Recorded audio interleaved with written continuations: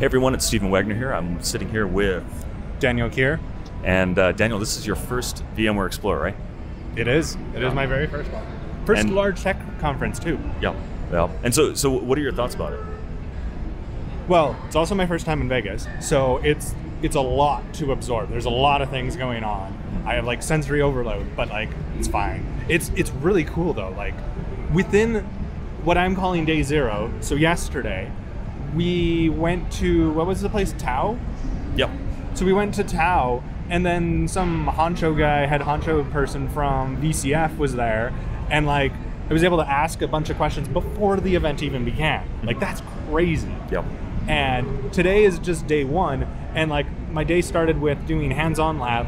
There was so much information that was, got dumped onto me, and just everything has been extremely informative. And there's just there's so much to take in. Yeah, yeah, that's true. And you know, it's it's it's interesting this year because of everything that's happened with uh, the Broadcom acquisition with VMware. So uh, the attendance numbers are a little bit different, the topics are a little bit different, but the, the big thing right now this year is AI, and that's something I'm super excited about because I do a lot of stuff in my own home lab and for customers. We're having conversations now where we're talking about RAG, um, we're talking about private AI. That's that's the big thing because you know, it's one thing to, to toss a whole bunch of corporate data into ChatGPT and have ChatGPT train their models on that. Um, but, the, but the big rage is to keep all that private on your own servers, in your own data center. And so there's a lot of value behind this, and a lot of the major players and the vendors are, are trying to, uh, to, to, captivate or, uh, or to capture the, the market share on this. Um, like, for example, uh, I sat in on a session earlier today, which was uh, the VMware Private AI Foundation. Uh, they were talking about the uh, NVIDIA NGC catalog, uh, the NIMs, the uh, inference microservices that are available now. Um, NVIDIA also has their own product, NVIDIA AI Enterprise, which uh, you actually have to purchase in combination just so that you have the proper licensing for the GPUs. Um, but uh, but yeah, it, it's it's also a, a, really different conference this year because, for example, Omnissa just split off and they went completely separate ways. So they have no presence at the conference this year, which is pretty interesting. Um, Don't they have an upcoming conference presence in like October? Yeah, so uh, I, I, sit on the board of directors for World of EUC, and EUC World is the uh, conference that we're having October 22nd and 23rd in Silver Spring, Maryland.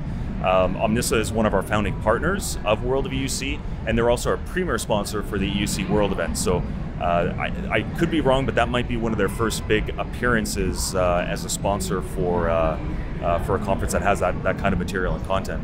That's pretty fancy. Yeah. So, but uh, but overall, it's it's really nice. Like one of the big things that I like to point out with all these conferences is that it's uh, it's fantastic for networking. It's fantastic for community work.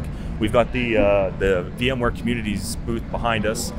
Corey Romero's been manning that with the the vExperts. Yeah We've got community theater uh, just over to the left of that, where Johan van Amersfoort just did a, an awesome presentation talking about uh, some of the work that he's done in his home lab with AI. Um, I think that's on VMware TV, so I think you can check it out on there. I haven't seen the channel yet, but I think you can subscribe, and his session should be on there. Tony was saying if you just Google or YouTube search VMware TV, you should be able to find the live stream of it.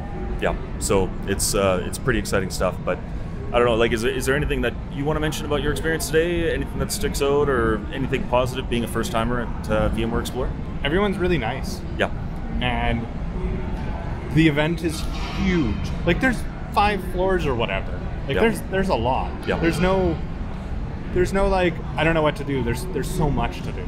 Yeah. I, like, and today's day one of four, three. Yeah, d- day one today, and yeah. we were even busy on the day prior, so we uh, we got out and caused some shenanigans. So that was kind of fun, yeah. but kept it technical, so exactly. it, it, was a good experience. So.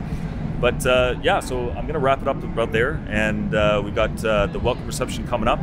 So it's gonna be pretty low key for the rest of the night, just some adult beverages. Yep. And uh, I guess we'll check in day two, perhaps, or do a couple videos on something else. We'll see how it flows. Yeah, perfect. Thanks for watching, guys. See ya.